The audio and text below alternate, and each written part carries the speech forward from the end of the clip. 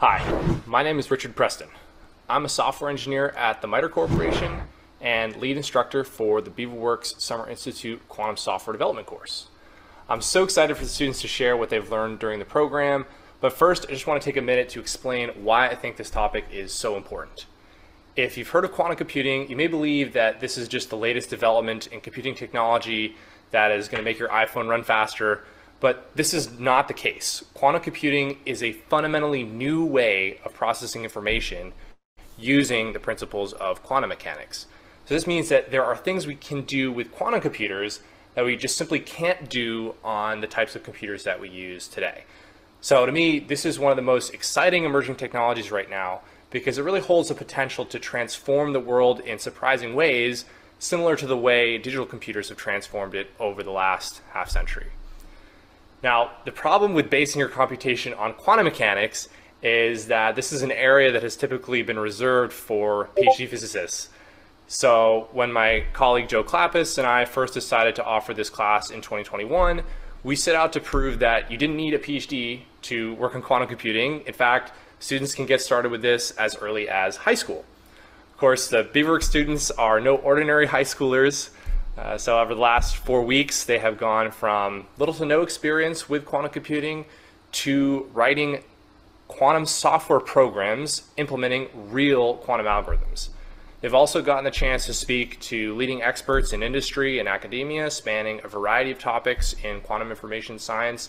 So this is truly a, a graduate level course, and the students should be incredibly proud of what they've achieved. So on behalf of the core staff and everyone at BWSI, thank you for participating in this final event. I think you'll be absolutely blown away by what the students have to share.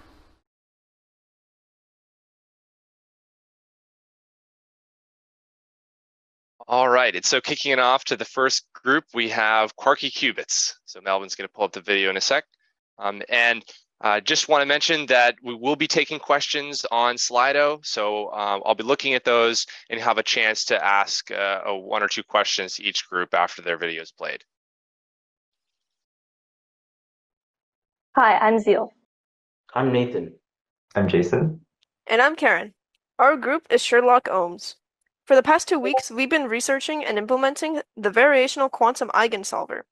Our final goal was to implement an algorithm that will calculate the lowest possible energy state of a molecule's electron configuration. This ground state is useful in chemistry because it tells us a lot about the properties of a molecule. But before we can go into the algorithm, we need to start by reviewing the basics of what a quantum computer is and how it can expedite the process of finding the lowest possible energy state. What you mainly need to know is that a qubit can be in a state between 0 and 1, that qubits can be entangled, and that this makes quantum computers faster than normal computers at certain tasks. The variational quantum eigensolver, or VQE, is one of these tasks. VQE is an example of a variational quantum algorithm. So basically, in English, this means that it has both a classical and a quantum part. These types of algorithms first initialize some parameters, do some measurements, and then use an optimizer to get new, better parameters to repeat the process with. The VQE helps define the minimum eigenvalue of a matrix. Now, what does that even mean, and why does it matter? Well, when we apply the VQE to, say, a matrix that represents the energy of a molecule, the algorithm can find the upper bound to the ground state energy of a Hamiltonian, which is generally the first step in computing the energetic properties of molecules and materials it uses an algorithm to find the lowest energy state of molecules, a major problem that is central to quantum chemistry. And in even simpler terms, it just helps simulate the molecules, and scientists can use that to calculate stuff, specifically for medical or chemical applications. The scope of the VQE is therefore very wide, being potentially relevant for drug discovery, material science, and chemical engineering. We have methods using traditional computers, but it's super resource intensive for accurate calculations on large systems. This poses challenges in the applications of such methods, which, as you can guess, the variational quantum eigensolver can solve. We began our research by looking through various articles and videos on the algorithm, but we quickly moved on to reading published papers. One of the biggest hurdles was just trying to parse the paper's notations and terminology, which was something we spent several days on. We eventually decided that the most manageable way to work through the papers was to divide up the different aspects of the algorithm amongst ourselves, which allowed each of us to focus on understanding one piece of the algorithm in detail. This also meant that we each encountered different challenges when it came to the actual implementation. It was difficult enough to understand what the algorithm was doing, but it was a completely different challenge to understand how to write it.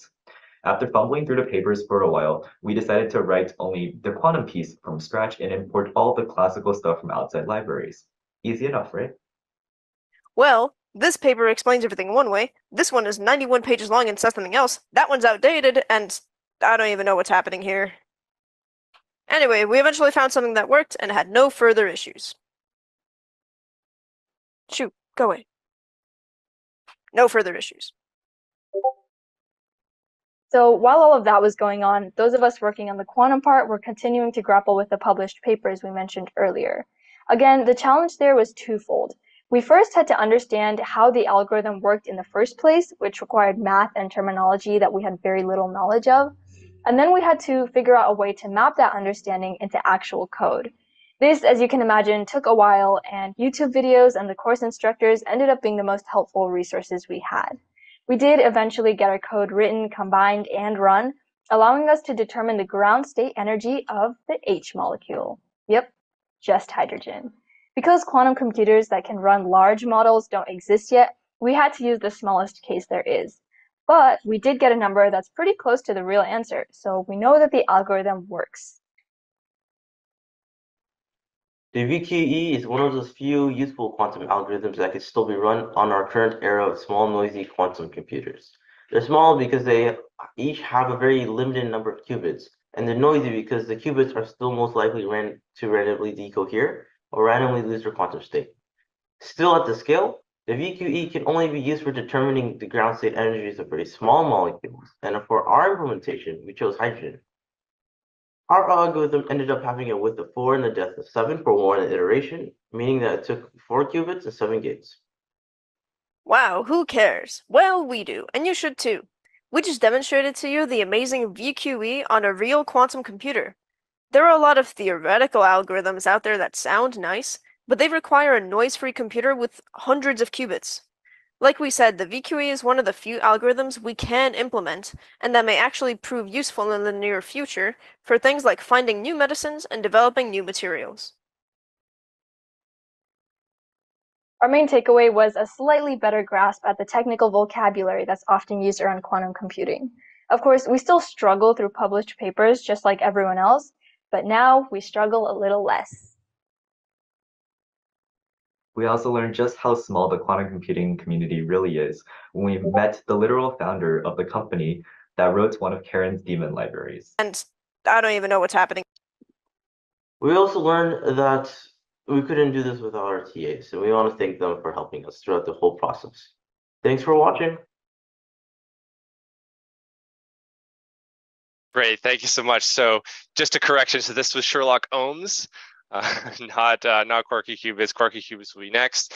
Um, so perhaps that may segue into uh, into one question for for Sherlock Ohms is you know we've had some technical difficulties related to being virtual. And so, and this is something we've talked about in the course, but I'm wondering if any of you want to give some thoughts on what the experience is like been as a virtual course, some of the, let's say, pros and cons, um, and how you worked as a team virtually. So, um, and for this project, we like set up a whole GitHub account or a GitHub repository so we could all collaborate on the code. And basically, like the video mentioned, we tried to divide up our work. So then we would look at the different parts of the algorithm, like parts of the quantum software.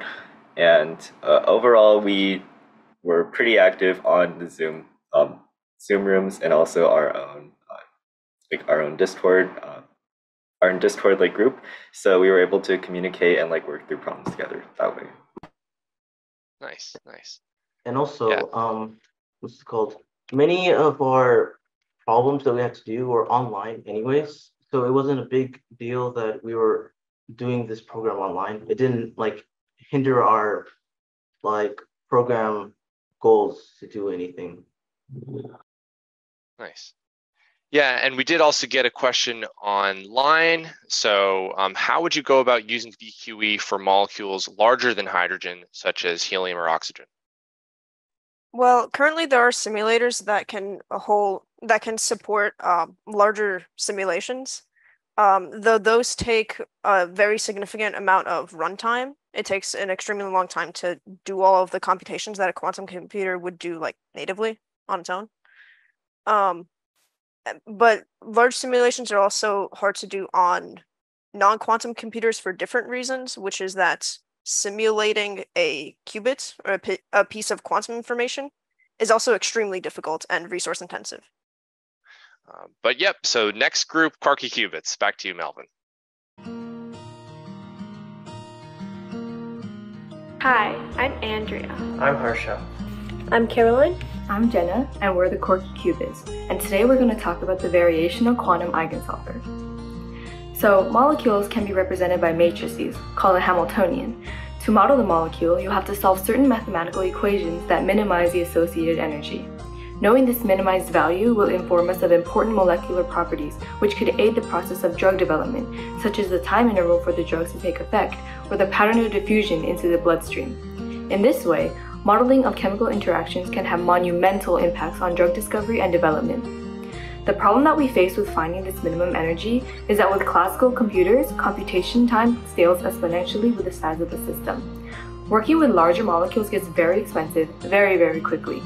However, quantum bits on a quantum computer, called qubits, can achieve this using only a linearly growing set of qubits due to a unique property called superposition, or the ability of quantum state systems to be in multiple states at once, which can decrease runtime significantly. In this manner, quantum computers harness the unique principles of quantum mechanics.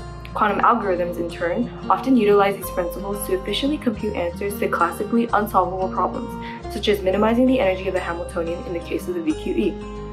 The VQE can also be applied to many other fields besides chemistry. Using computer simulations, the VQE can be applied to advanced material science, chemical engineering, and even finance for portfolio optimization, as well as stimulate developments in fields such as nuclear physics, high energy physics, and vibrational spectroscopy. For this problem, an algorithm called quantum phase estimation was proposed. While it was a pioneering idea, the current limitations of quantum technology make implementation of QPE implausible due to the billions of quantum logic gates needed. The circuits are very deep. In contrast, the variational quantum eigensolver is a hybrid solution, utilizing both quantum and classical computational techniques using much shallower circuits and less qubits, making its implementation much more practical. The VQE uses a sort of guess and check method to solve for the minimum energy state. There are three things to understand. The quantum and classical part can be covered later, but the essential part of the math is the variational principle, which essentially leverages the fact that the energy at any arbitrary state has to be greater than or equal to the minimum energy value. To solve this problem on a more computational basis, we must first translate the molecular chemistry into quantum information. This can be done by mapping the Hamiltonian distances to a sum of quantum gates. In the quantum realm, we can then select a trial wave function that we can use to calculate the minimum energy. Then, using a classical machine optimizer, we can iteratively improve upon the parameters of that initial wave function until we get as close as we can to the minimum energy. We implemented this algorithm in QSharp to get a better understanding of the circuit and concepts, as well as Qiskit to simulate the algorithm on one of IBM's quantum computers. For one iteration in one sample, we can look at the resources required to run this algorithm. Here we can see the metric for qubit Clifford, which is the total count of gates, and qubit count, which is the maximum number of qubits allocated. Note that the resources are very low for one iteration. However, there's a much larger total cost because there are a number of optimization steps and we need to multiply by the number of samples for accurate results. We can then look at a graph comparing the number of Clifford gates used for QPE and VQE for 1000 samples. We can see that VQE uses much fewer resources and a smaller molecule like H2 is much more feasible compared to a larger molecule like caffeine. Using the Qiskit implementation, we were able to simulate the lithium hydride molecule on IBM's State Vector Simulator. The simulator is based purely in the mathematics behind the code, resulting in a perfect scenario. Real quantum computers have noise, but this IBM simulator runs our code without noise. The actual energies and calculated VQE energies are almost identical, with an average margin of error being 0.00041 Hartree, an atomic unit of energy. We were unable to run the Qiskit implementation on an IBM quantum computer because our circuit requires 8 qubits, whereas only 7 are publicly available.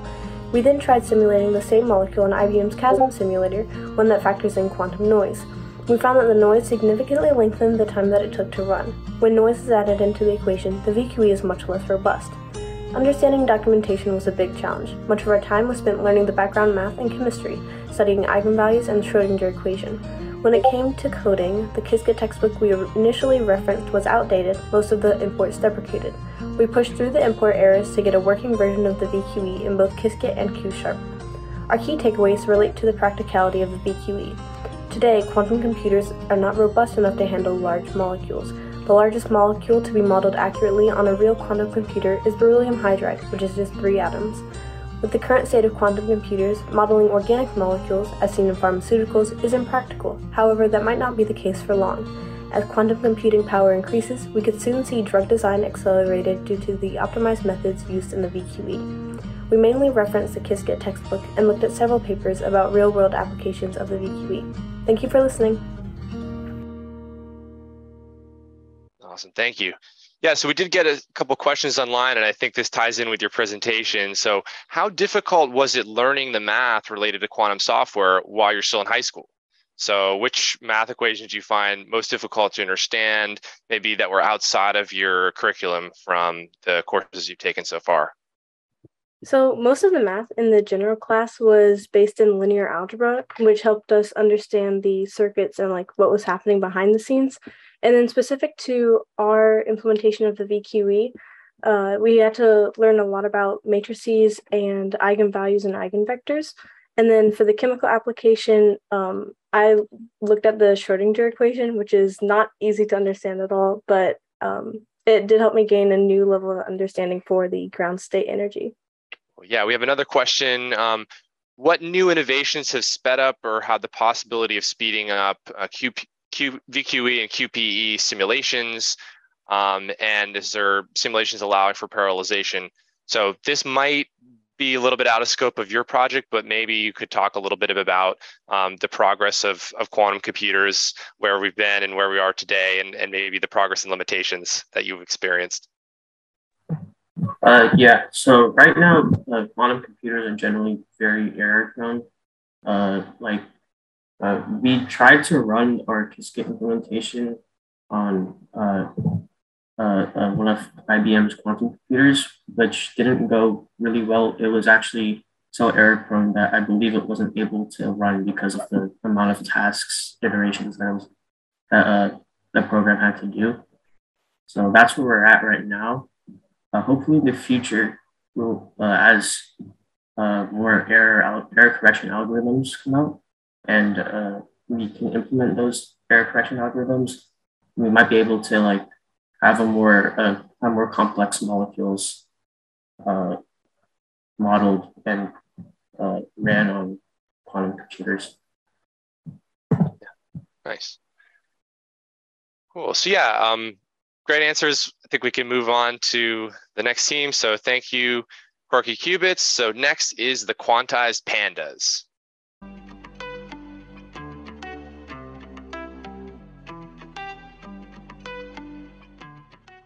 Hi, my name is Devish. My name is Eric. My name is Michelle. And my name is Mohammed, and we are the Quantized Pandas. Quantum Overview. A quantum computer is a new type of computer that takes advantage of the properties of quantum mechanics. A quantum algorithm is an algorithm that runs on a quantum computer. A qubit is the fundamental unit of information in quantum commu computing. It's compared, it's like a classical bit. It takes advantage of a superposition, which allows for the qubit to be in a zero state, a one state, and everything in between. But why is this useful? It's because quantum computers speed up tasks that would take naturally forever on a regular computer. So some of the applications.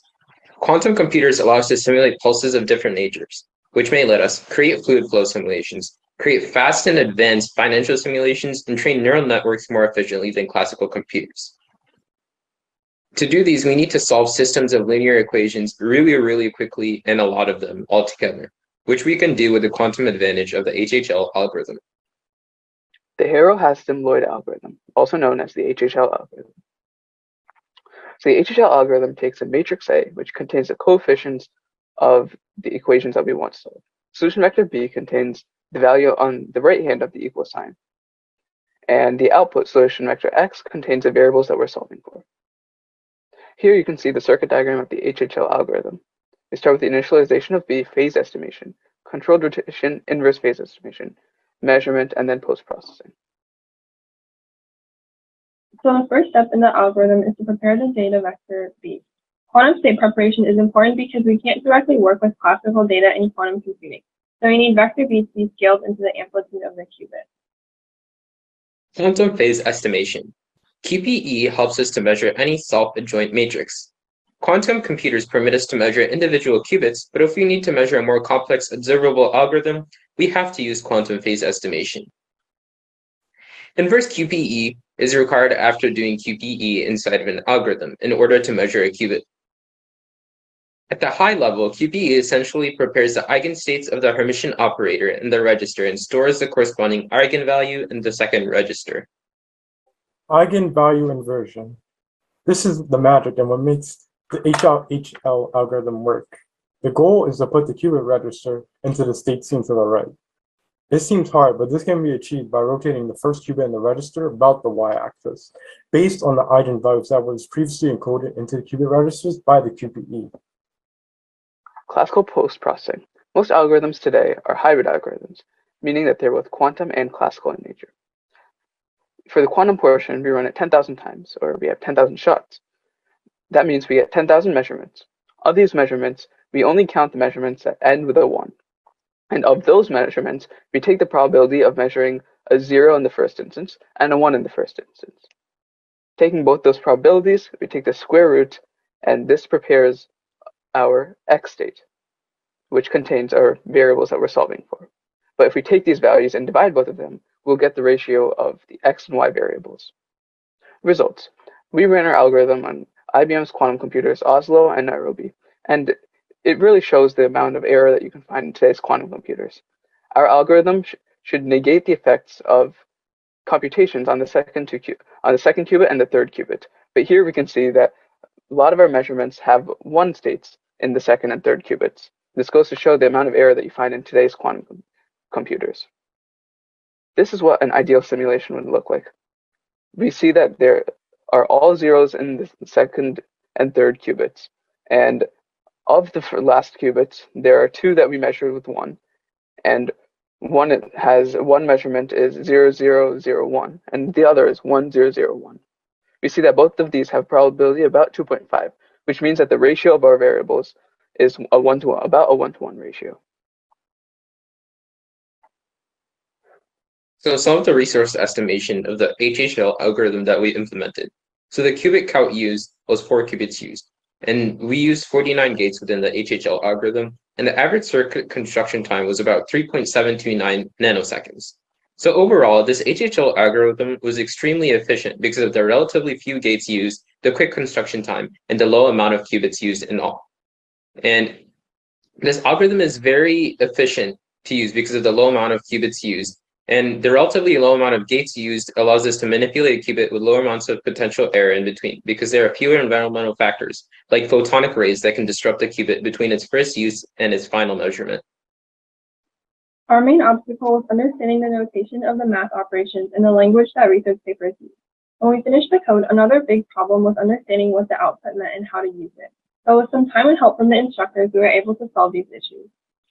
Thank you so much for listening, and we hope you enjoyed our presentation.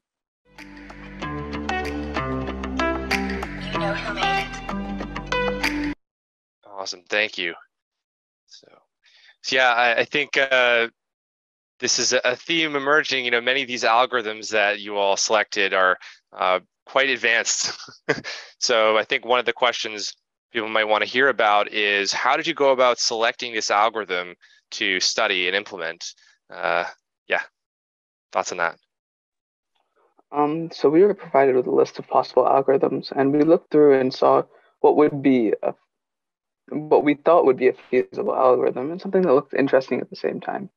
Um, we saw this one; it seemed fairly straightforward because it was just, uh, you know, it's algebra two. It's just you know linear equations, and you solve them. But apparently, actually solving those using quantum computers isn't as simple as doing algebra two. So I guess that produced some struggles, but that was kind of the thought process behind it. Yeah, John has a question. Go for it. Yeah, um, yeah. My question is, what, how did you go about dividing the work? Like, we're all separate right now, and there's this big project. What was your process of like figuring out who's going to do what, um, and like delegating tasks? Um, I can probably take this one. So, like, at first, we were definitely going to stick together just because I don't think any of us had a lot of experience, like, looking through all the research papers because they were worded in a really technical way. So, I think that at first, it was really nice how we stuck together. But then, as we dive deeper into the algorithm and kind of looked at the circuit diagrams, um, we divided the work based on the stages of the diagram and like the steps in the algorithm. Yeah, we had a, upvoted question about agile, uh, agile development, agile methods. Do you? Uh, we didn't really talk about agile much in class, but are you familiar with that, or or no? We know absolutely nothing. so I remember I showed one of my teams like my Kanban chart. it's like, hey, uh, this is agile. Um, you can mess it if you want, and they're like, we got it. so yeah, a small enough team. So I think you all were working very closely together. So we didn't do any formal agile processes, but um, had to mention that. It's a very upvoted question. Okay. Um, well, thank you. Uh, so thank you, Quantized Pandas. We'll move on to Blue Mandrills. My name is Herschel. I'm Audrey. I'm Abusha. I'm Christina. And this past summer, we worked on the quantum approximation optimization algorithm. So some quantum computing background. Quantum computing is a type of computing that leverages the quantum properties of small particles to solve certain problems that classical computers just cannot solve in reasonable time. The difference between quantum and classical computing boils down to the fundamental unit of information. Classical computers use a bit, which can either be in the zero or one state, while quantum computers utilize a qubit, which can be zero, one, or some combination of the two, which we call superposition. A good analogy here is to think about bits as a switch with only on and off states, while qubits are more like a dial, which can be some intermediate value between on and off. Now, some background to the QAOA. QAOA is a near-term quantum algorithm that tries to approximate the optimal solution to some problem. QAOA reaches this solution by trying to reduce some predefined cost function via a series of quantum transformations. This cost function varies based on the problem at hand. And since QAOA is a near-term algorithm, it requires less qubits and is less vulnerable to error, making it far more feasible to run on today's quantum computers. So, what problem does QAOA exactly solve? Well, the answer is the combinatorial optimization problem, which are problems which just try to find the best combination of a series of actions or where variable assignments for a particular value. In this presentation, we will go through two such examples, MaxCut and the traveling salesman problem. Additionally, QAOA has many interesting real-world applications, with some of the main ones being infrastructure, such as designing highways with the optimal amount of connections, finance, which includes portfolio management, and supply chain solutions. So what is MaxCut? MaxCut is an algorithm that separates the nodes of a graph to maximize the number of edges between the partitions. So in the graph below, as you can see, all of the edges that have the opposite nodes, one on one side and zero on the other, are counted, and the edges that have the same nodes are not counted. The MaxCut problem has many applications in various fields, such as circuit layout design, which creates integrated circuits and computer chips, and network design, which creates communication networks. When implementing our QAOA, our aim is to minimize the cost function based on problem constraints. Basically, the path that cuts through the most edges will have a lower cost. We can do this classically by optimizing our parameters for the rotation gates. Using Qiskit, we can then create a quantum circuit to apply the quantum transformations necessary to bring our qubits to the solution state as shown below. We can then run this on a quantum computer and measure the results. This should be a bit string that represents the path which cuts the most amount of edges in a graph. We ran this algorithm on three different machines, listed here in decreasing accuracy. The two tall peaks in the graphs represent the optimal solutions, the probabilistic simulator, which eliminates noise, has the most pronounced peaks, while the noise simulator, which simulates decoherence, has less defined peaks. Yet both simulators use the same amount of qubits depth in the type of gates. As expected, IBM's gate-based quantum computer has the longest construction time and the least pronounced peaks, most likely due to the sensitivity of the machine, which amplifies noise, decoherence, and errors. We also explored the traveling salesman problem, or TSP. TSP is a well-known and difficult NP-complete problem in math and computer science. NP-complete means that the solutions of TSP can be verified quickly, and if we were able to quickly find a solution to this problem, we could find the solution to all other problems whose solutions can be verified quickly. So, this problem is important because it is applicable and adaptable to many different optimization problems. TSP can be thought of as trying to find the shortest closed path, starting and ending on the same node that visits every node on a graph exactly once. To solve TSP, our goal is to minimize our cost function, which is defined by our problem constraints because we want to minimize distance.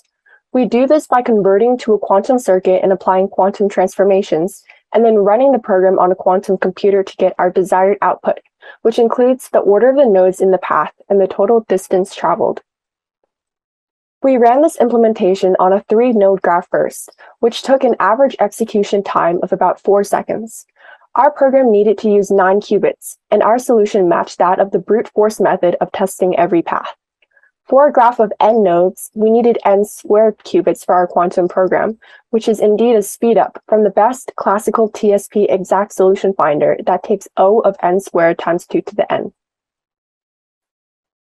For future steps, we want to optimize this algorithm to be less resource intensive, as well as explore other possible approaches to TSP. We would also like to customize it so we could use maps for our graphs. One application is optimizing vehicle routing for more sustainable, efficient, and cheaper transportation. All right, here comes our challenges. We definitely face a lot of challenges on this project, such as understanding complex documentation, difficult research papers that require advanced math and quantum mechanics, and deprecated packages. There are a few key takeaways after this project. Firstly, QAOA is useful and effective for many applications in the near future. Secondly, there are needs for more developed and documented algorithms, quantum software, and hardware. We would like to say thank you to our lead instructor, Richard, and all of our TAs for helping us so much with the project. Thank you for listening. All right, thanks. So yeah, I don't see any other questions online, so keep them coming, guys. But uh, if you have additional questions, uh, one question I had was around the experience of quantum software development, which is really the topic of this course. Uh, so your presentation rightly focused a lot on your results, but what was the experience like of actually developing the software um, and then later going and running it on a quantum computer or on a simulator, especially as it relates to working in a team? Yeah, so again, to for the let me first answer like the team part of it first. We basically just set up a Git repo, a GitHub repo, and we just shared the code on that. But in terms of like collaborating on software development and making it feasible to run on real computers. We had base it was down to just reading a lot of papers and stuff because lots like lots of people have done implementations of this QAOA and TSP, but never in ling like not necessarily in the languages we did or solving the problems that we did. So I guess it was mainly a bunch more of reading and translating code and like understanding the fundamentals of like the gates and the circuit diagram and like the control flow of that whole thing and then implementing it into Qiskit and Q sharp. Yeah, we had a great question online. So, how did you shift your thought process from thinking about conventional binary bits to thinking in terms of qubits? And I would say more generally, just um, shifting your your your logical thought process from just the quantum computing paradigm from the, the classical computing paradigm. Um, it definitely was difficult at first because it's a whole new way of trying to think and it's a whole different type of logic. Um, but I think since we like honed in a lot on the basics in the first two weeks of the course, it wasn't too difficult because we kind of adjusted to this new type of thinking pretty easily. Yeah, I might I might add to this and say I think that uh, this group is um, uniquely talented and in a great position to start thinking about this new type of information processing um, since you know there are also many of them are still new to programming uh, on a classical computer.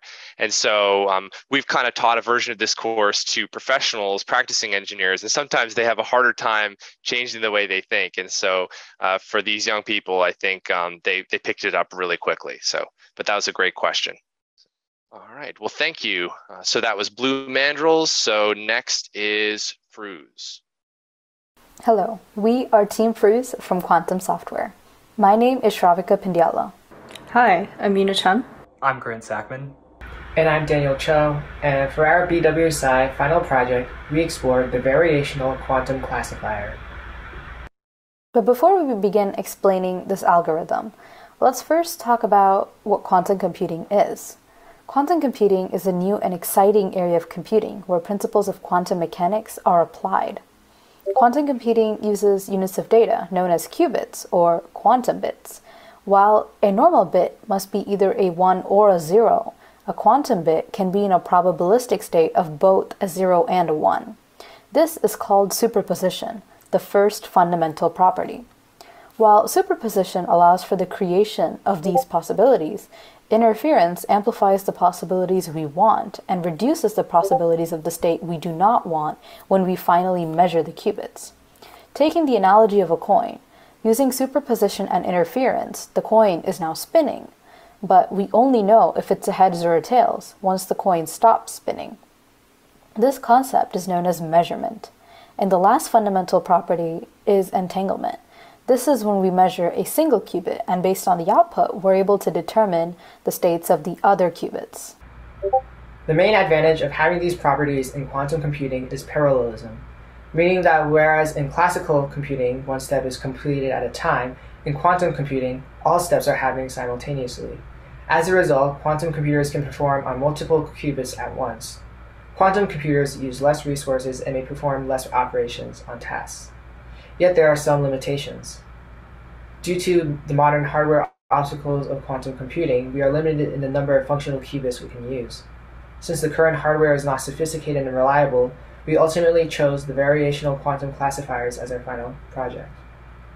Our goal with this algorithm is to predict whether a person is at high risk for heart disease from a set of data features. In order to do this, there are four stages of implementation. The first stage is pre-processing.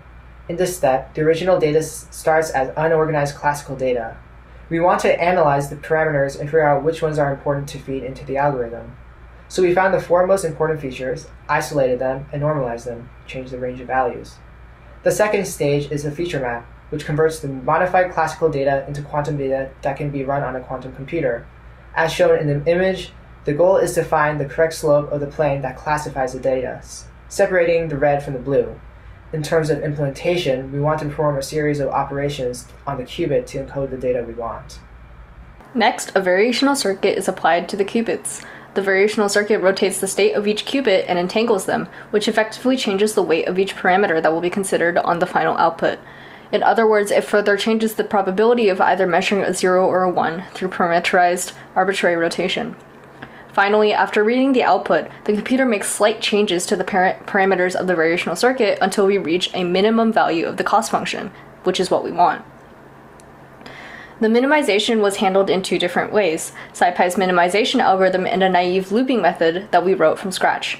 Ultimately, the two methods yielded the same cost function minimum, which is 0.25. As for resource usage, our algorithm takes, on average, 10 minutes to process through 624 lines of input data for 30 iterations each. This includes rebuilding the circuit for each input and then adjusting the parameters and remeasuring to calculate costs.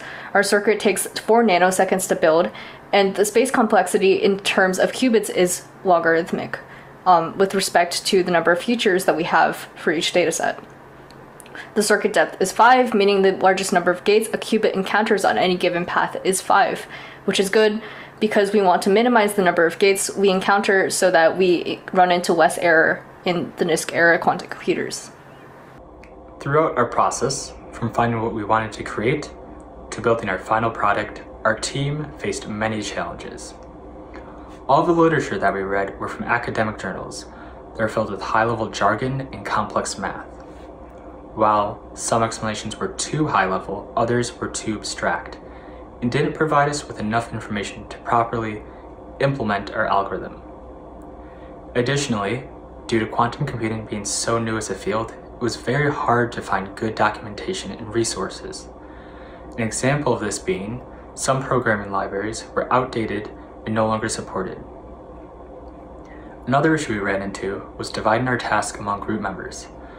Many parts were interlaced and depended on previous members' portions to work. As well as being uniquely complex, it was very hard to help everyone. But through hard work, effective communication, and collaborative teamwork, we were able to successfully implement our algorithm with the results you saw prior. Thank you. Nice. Thank you.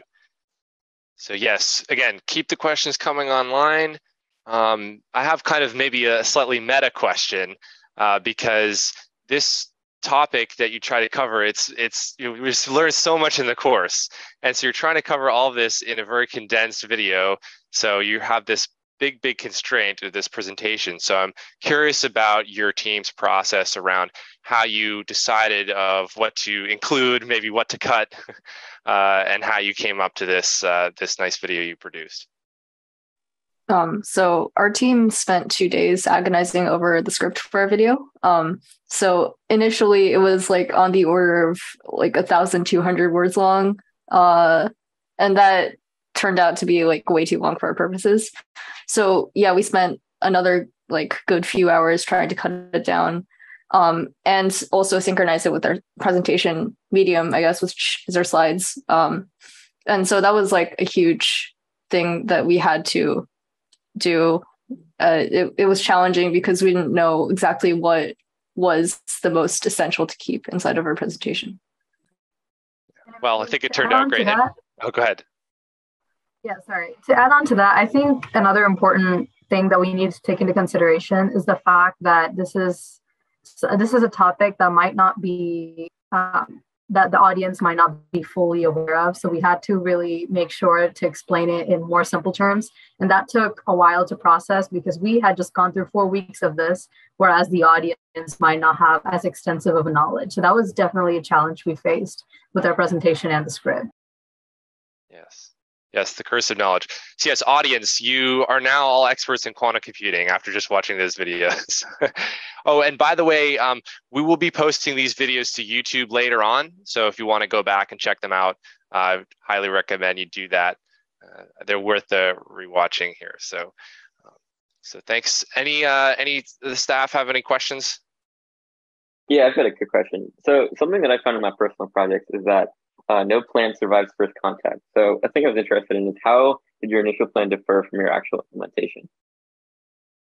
Okay, so I guess we kind of touched on this, but um, one of our big challenges was the division of labor. Labor. Um, so we thought like there were four circuit components. There's like the feature map, um, the data processing, the like post processing, and like uh, optimization. And we thought we could just naively cut those into four pieces that each group member could do. Um, and the problem was these are all sequential. So each component depended on the previous component to actually like work and see if we could um, actually do useful things with it.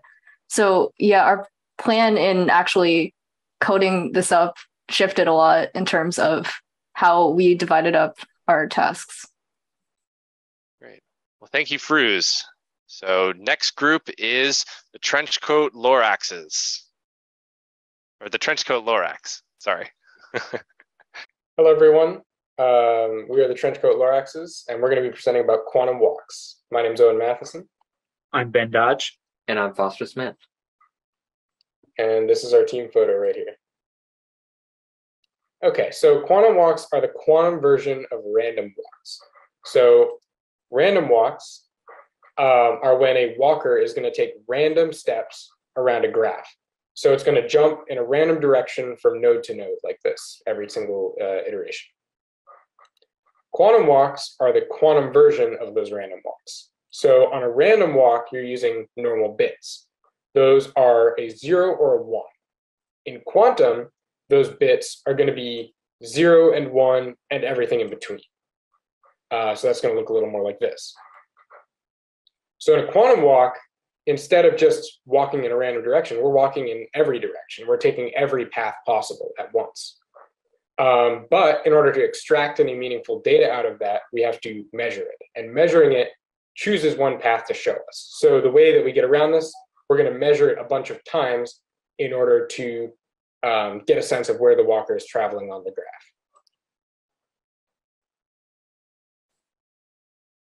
Our project was an implementation of quantum walks. In our implementation, we used a circle graph in which the walker can only either go left or right. It has a 50% probability of doing either. We also implemented a graph of a torus.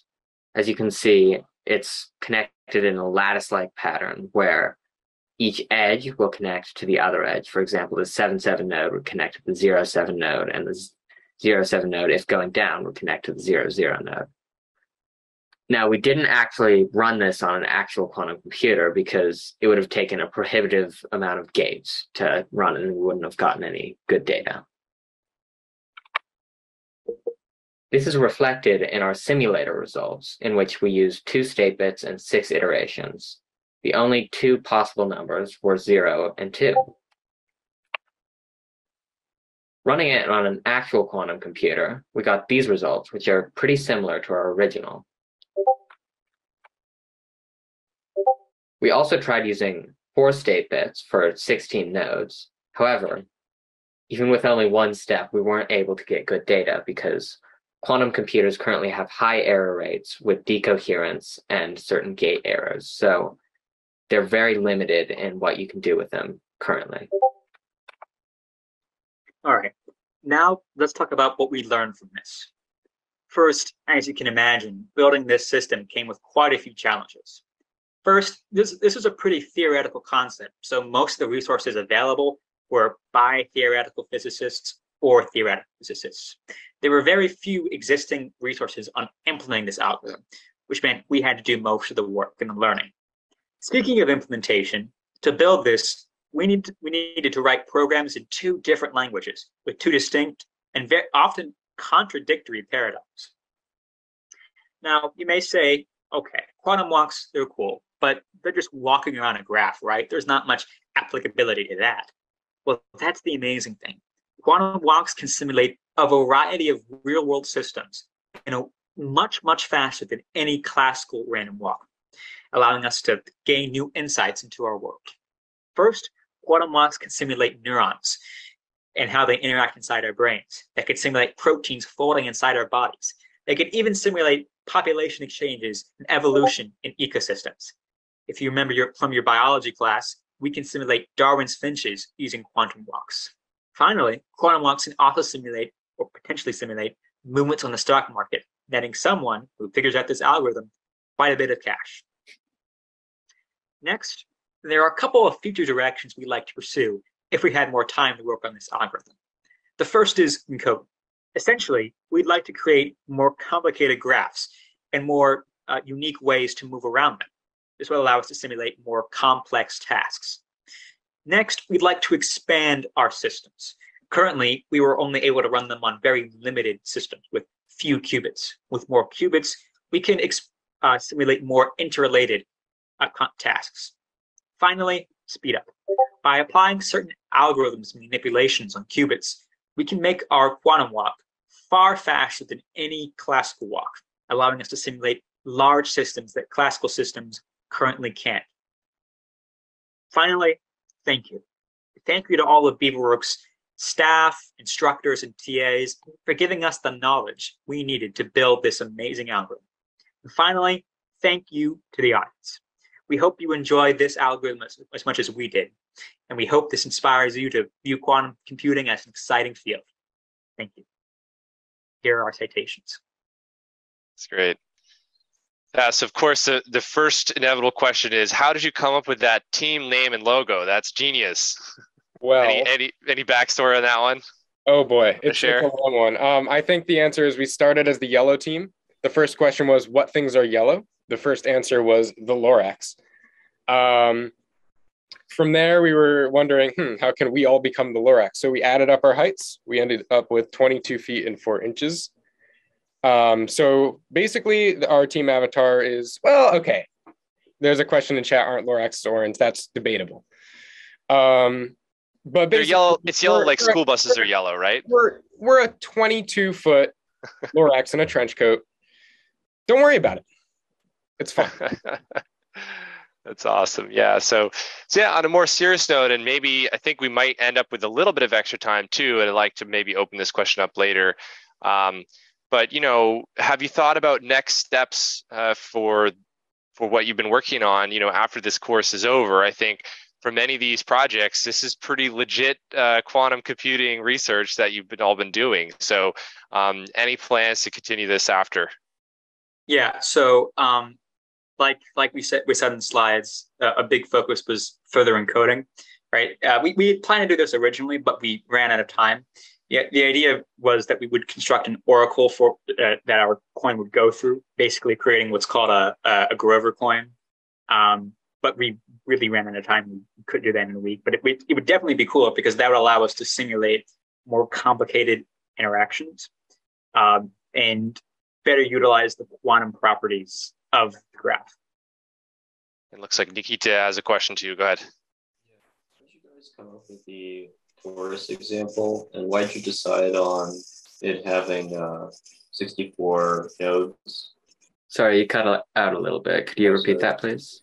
Um, how did you guys decide on the torus graph? Like, uh, what interested you about it, and why did you decide on 64 nodes for that graph?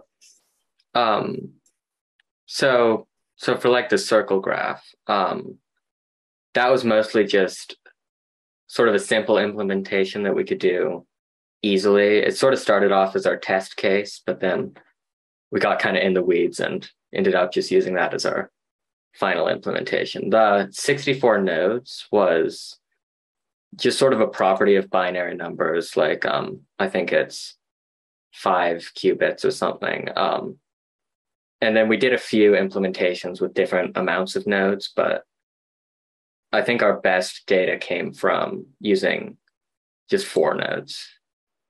So just to add on a little bit, Yeah. we we started with a line, right, that sort of gets wrapped around into a circle. Um, and because we're using that simple coin, the next step is just making that line two dimensional. So making it a square, and when you wrap it around, it looks like a torus, which is a different shape. So that's why we're calling it a torus. It's really just a square where you can you can walk from the you go up past the top and you end up back at the bottom. Um, yeah. So it's just the, it's like going from one dimensions, which is the simple version, to two dimensions, which is just a little bit more complicated. All right, so I, I don't see any more questions online. So thank you to the Trenchcoat Lorax. And we'll go to our last but not least group, Capybaras. Hi, I'm Cassiel. Hello, I'm Tina. Hi, I'm Timothy. I'm Noah, and we are Team Capybara from the Quantum Software Development course. Our project was to implement the quantum Hadamard edge detection algorithm on large images. But before we break down what that actually means, let's get some background on quantum computing itself. Instead of using classical bits, quantum computers use qubits, which are the quantum analog of a classical bit. Just like a classical bit, qubits can be measured as a 0 or a 1 at a certain point in time. What makes them unique is that they can be measured as a superposition of 0 and 1 at the same time. This unique characteristic allows us to represent exponentially more states with qubits than if we were using the same amount of classical bits. For example, 3 qubits could store information that would require 512 classical bits. Let's revisit what the QHED algorithm is. Edge detection is an essential feature in image processing, allowing us to find the borders of objects within a given image. While classical edge detection works fine for smaller images, the larger pixel values of bigger images causes it to slow down. This is where quantum edge detection comes in. The time complexity of the classical edge detection algorithm is O of 2 to the n, while for the quantum edge detection algorithm, it is O of n. This is an exponential speedup, but how does it actually do this? First, need to encode our color intensities and pixel locations into a quantum form. Since qubits are measured in ones and zeros, we can use a group of qubits or a register to represent a binary index. When a register of qubits are in superposition, they are in all their states, meaning they also represent all the possible binary combinations and all pixel indices. For example, in the image, we use two qubits in superposition to represent four pixels. Each state also has a corresponding amplitude or probability of being measured. By applying quantum rotation gates to each state, we can manipulate the amplitude to encode color intensity. Now, instead of having a classical array of n indices, we have encoded the entire image into a length log 2n register. This is the Hadamard gate, a very powerful tool used in many different quantum algorithms. Applying it on a qubit, we can obtain the following transformations. Take note of the sign flow. Another property this algorithm takes advantage of is the alternating zeroth qubit, which makes sense if we consider how the parity or the even slash oddness of a number always changes as we add 1 to it. Now to note the array of indices as i, and applying h0, so Hadamard's on qubit 0, quickly we can see a pattern emerge as we apply it on successive indices. Mathematically, the Hadamard's gates can be represented as a matrix. Applying it on a QPi thus gives the following. We can see the same pattern emerge in the result. Now we have access to adjacent differences, but looking closely, it's only even to odd differences. So for example, we only we don't have access to C2 minus C1. The way we solve this problem is by shifting all the amplitudes right by one, rotating the last amplitude all the way around, and then performing the entire algorithm now on the new quantum state. This is the actual matrix that allows us to get the transformation, denoted by D. Putting everything together, we are now able to obtain all pairs of adjacent differences. However, these are only in the horizontal direction, so we need to transpose the entire image and repeat the same process. This way we can also obtain um, full differences between every pixel and its neighbors.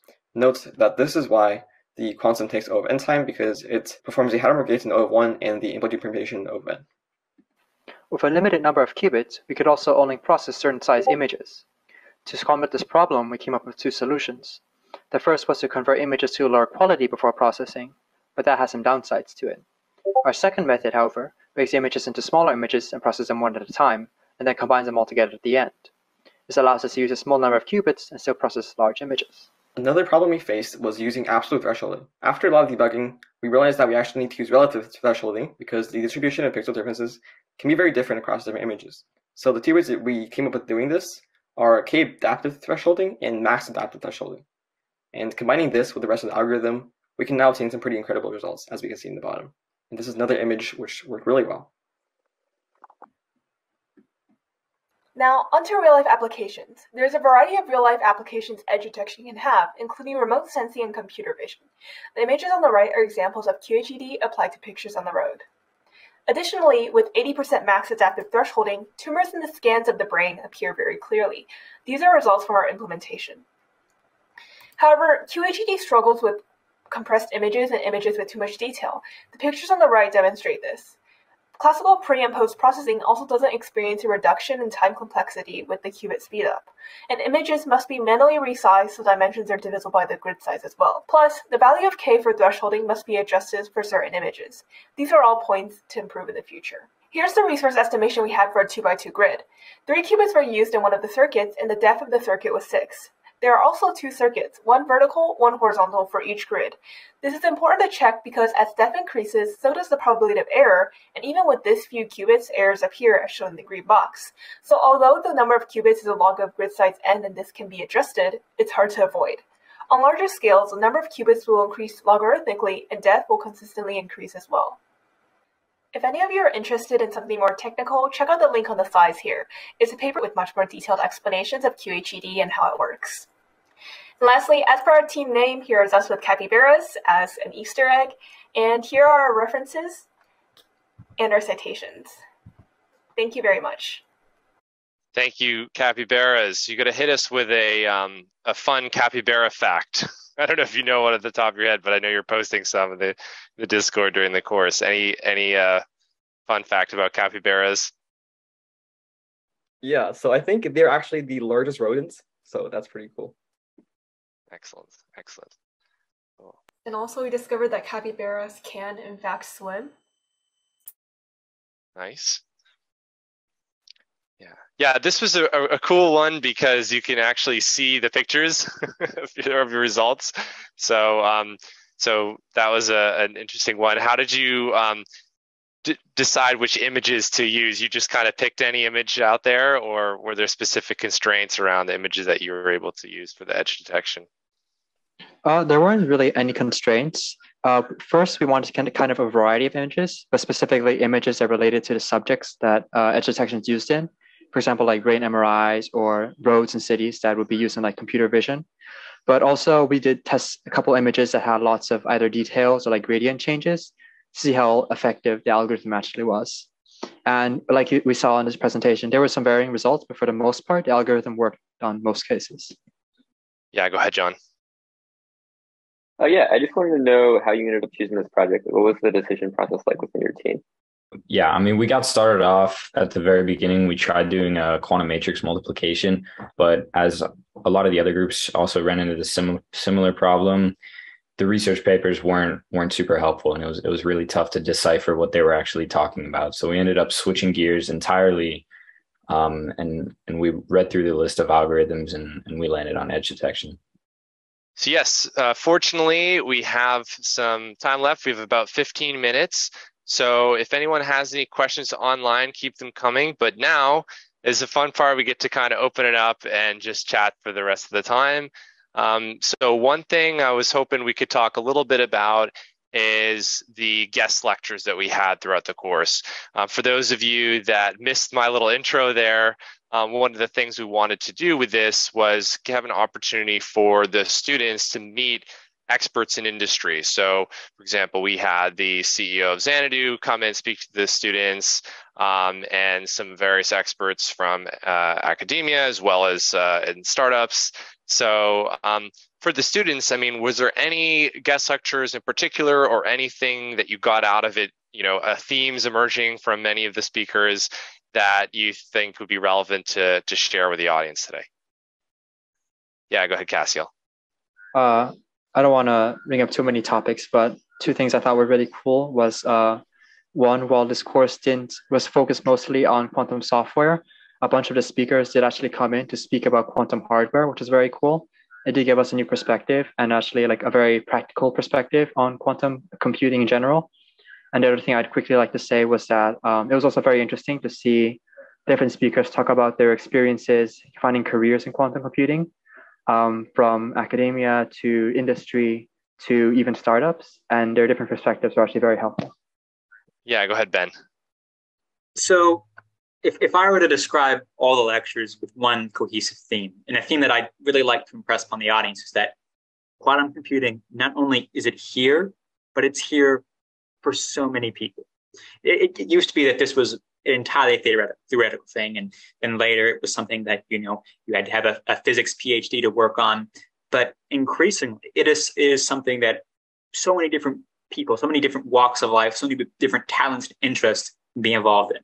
You know, electrical engineering, mathematics, computer science, just regular software development can all have a, a huge impact on quantum computing. So for me at least, it, it showed me that quantum computing doesn't necess- doesn't need you don't have to be erudite. You don't have to be a genius to do quantum computing. And you don't have to be a, a theoretician, right? You, you can have a variety of skills and variety of interests and help contribute to building the quantum computers of tomorrow. And I thought that was really cool and important for you know, people listening.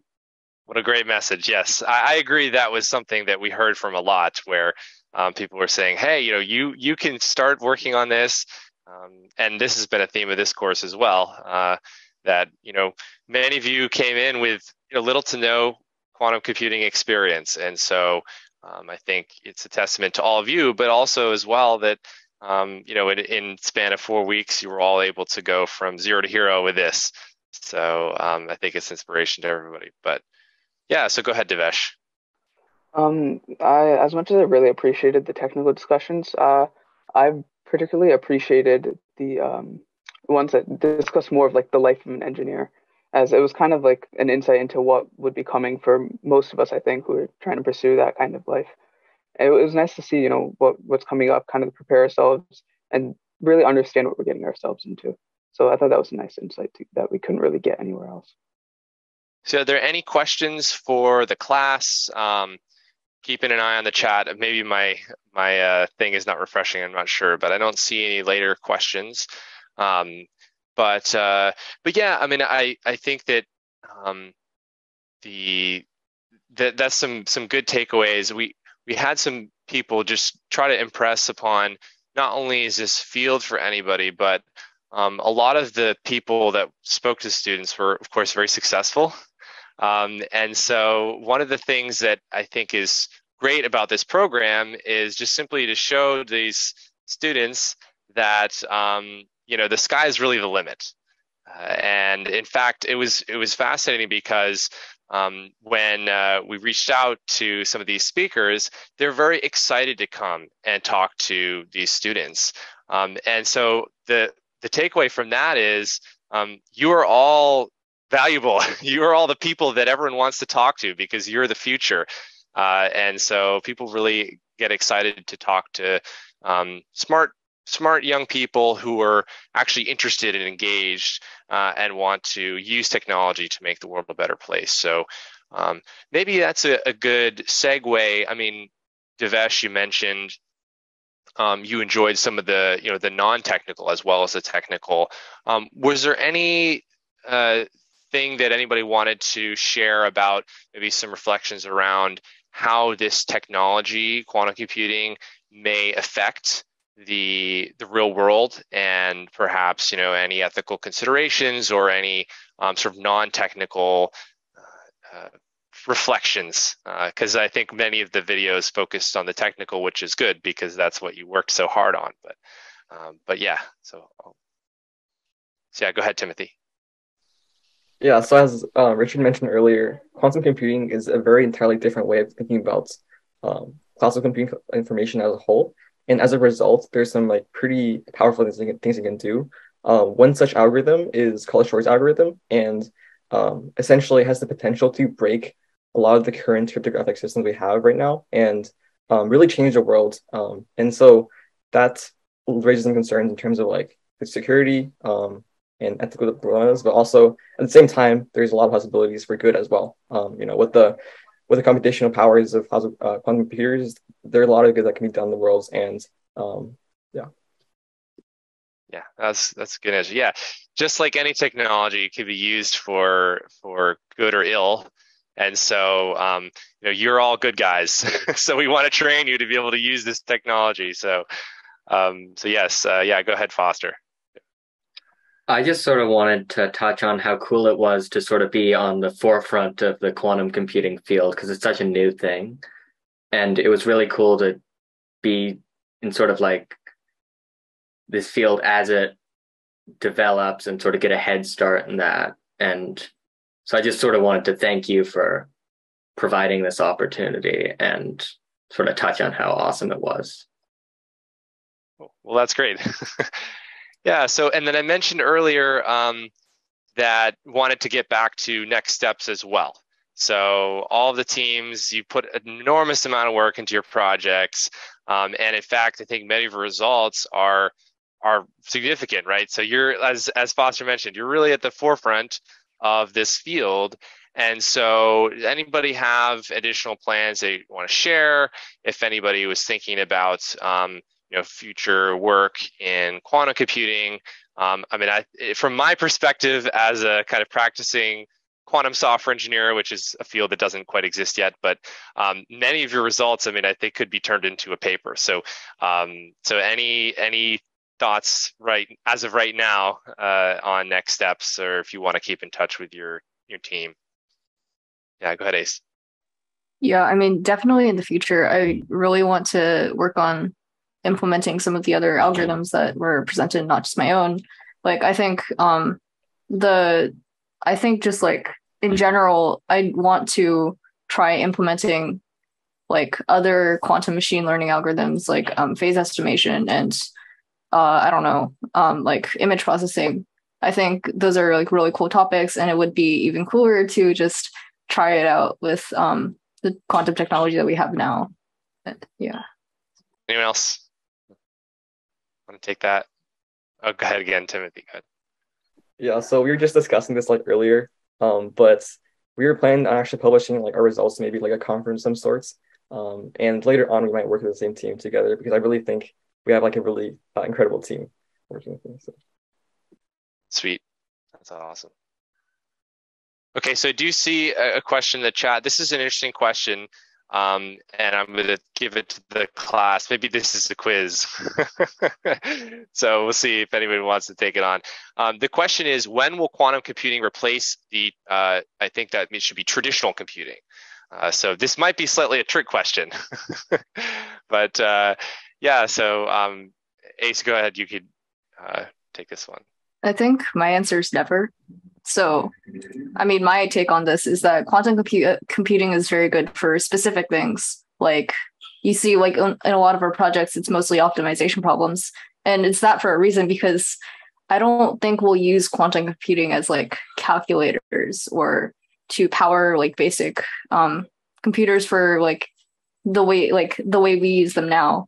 Um, they're good for specific problems that require like lots of iterations and lots of trials and like um yeah and parallelism i guess. Um so i guess they'll never really replace classical computing. It's just more of the thought process that they'll help us i guess um find solutions to spe- specific problems. Uh, so uh noah did you have something to add? Yeah, um, it, it's just kind of the point that that quantum software developers just try and drive home all the time that quantum computing and, and traditional computing are fundamentally different things, and therefore it's it's tough for one to replace the other. It's it's it's more of like a one is better at, at some things than the other, um, rather than than than replacing one another. Wow, you've got the uh, you, that questioner has the class buzzing. We got a lot of hands raised and want to weigh in on this. So yeah, go ahead, Ben. So I think I, I, I may take a little contradictory approach and say that at least now, no. In the foreseeable future, no. Using quantum computing is like using jackhammer to, you know, at using a jackhammer to write your name. It's way too much work and it's way too expensive, right? Quantum computing error rates are way too high and it costs so much to just maintain them. So we won't, we won't see that for this foreseeable future. But I can see a future in, in which, you know, the programs that we use, what, what, what we use commonly, require so much simulation that we find that quantum computers just do it better, right? We may, we may come a time with the problems that we all have to deal with, or at least all of our computers have to deal with, would be better solved by using some sort of quantum processor.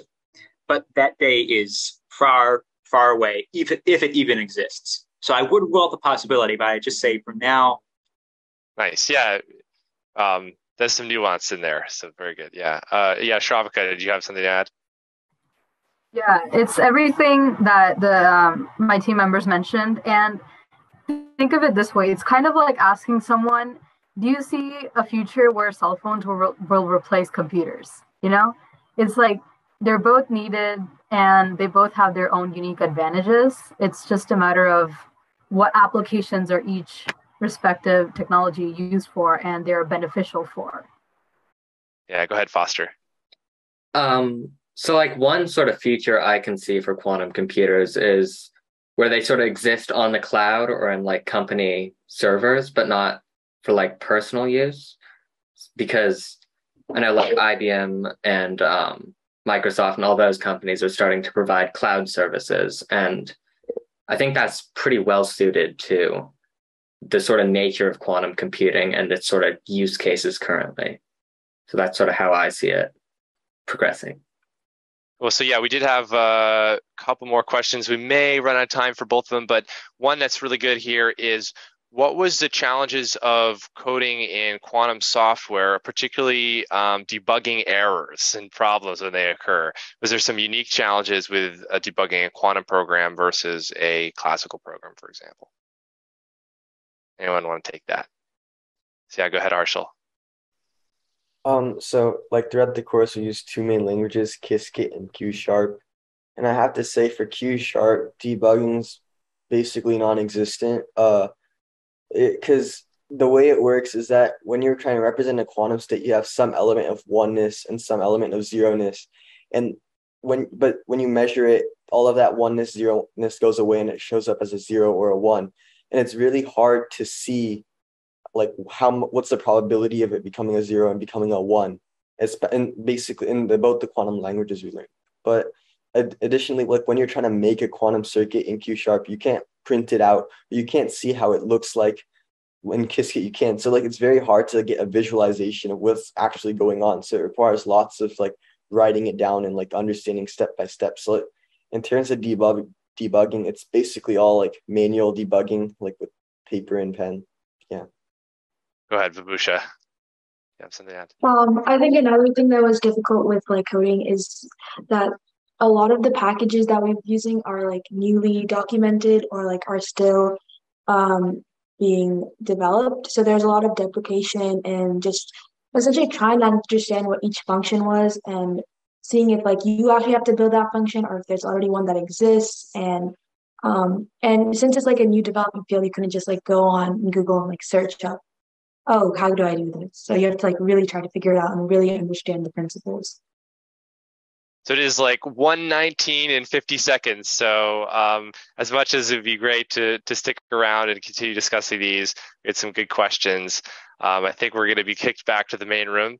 So thanks everyone so much for participating, uh, and huge, huge thank you to the students. They put a lot of work into these presentations, as you can see. And I remind you that these will be available on YouTube later. So maybe put a reminder in your phone in like a day or two, check YouTube, BeaverWorks, and uh, you can find these videos up there. So thanks, everybody, and see you back in the main room.